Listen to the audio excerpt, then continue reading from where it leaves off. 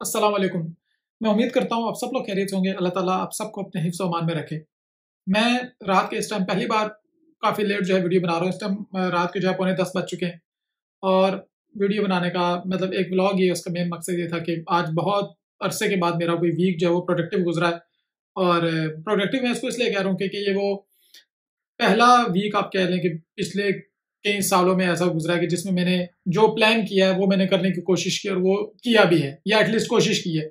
वरना नॉर्मली तो मेरे साथ यही होता है कि जो मैं प्लान करने का कोशिश करता हूँ या जो मैं प्लान करता हूँ, वो काम छोड़ के मैं बाकी सब कुछ कर लेता हूँ और वो एक वही काम बचता है पीछे। तो इसमें अल्लाह का शुक्र है कि जो चीज़ें मैंने करने का सोचा था, अगर थोड़ा सा एक्सरसाइज के बारे में सोचा जाए तो वो भी सुबह करने की कोशिश की।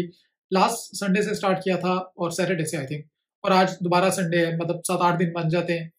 और थोड़ा सा घर में जो है एडिशनल एक कह लो कि एज अ हॉबी काम करने की कोशिश की, वो भी थोड़ा बहुत कर लिया।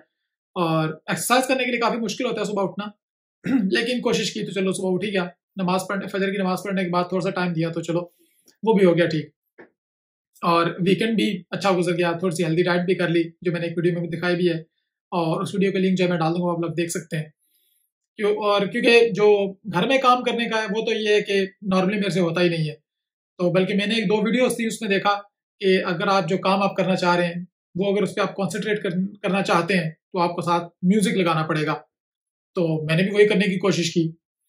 तो मैंने म्यूज़िक लगाया साथ काम करने की कोशिश की और जब म्यूज़िक लगाया या कोई गाना वगैरह सुनने की कोशिश की तो जितना कॉन्सेंट्रेट मुझे उस काम पे करना था उतना ही कॉन्सेंट्रेट मैंने उस गाना सुनने पे करना शुरू कर दिया। तो उतनी कॉन्सेंट्रेशन से मैंने गाने सुने और फिर उसके बाद मैं सो जाता था।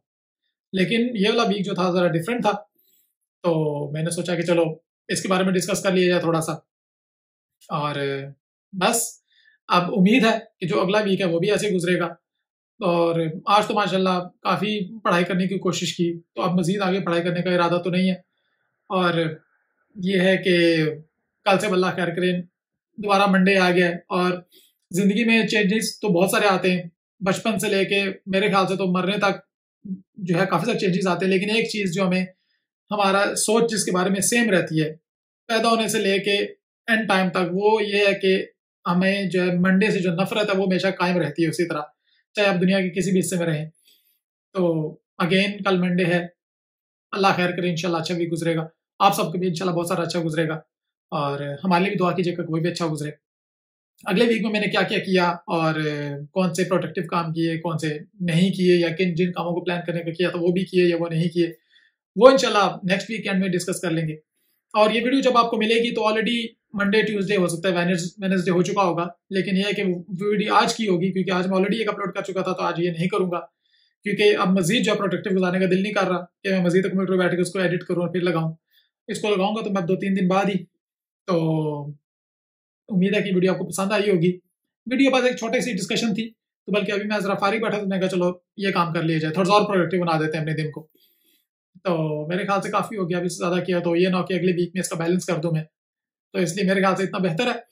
तो दुआ में याद रखिएगा और मेरे चैनल को ज़रूर सब्सक्राइब कर दें और ये वीडियो अगर पसंद आई हो तो इसको लाइक और शेयर भी ज़रूर कर दें। और अपनी दुआ में याद रखें, मैं भी आप लोगों को दुआ में याद रखूँगा। उम्मीद है कि आपसे अगली वीडियो में ज़रूर मुलाकात होगी। अपना बहुत सारा ख्याल रखिएगा। अल्लाह हाफिज़।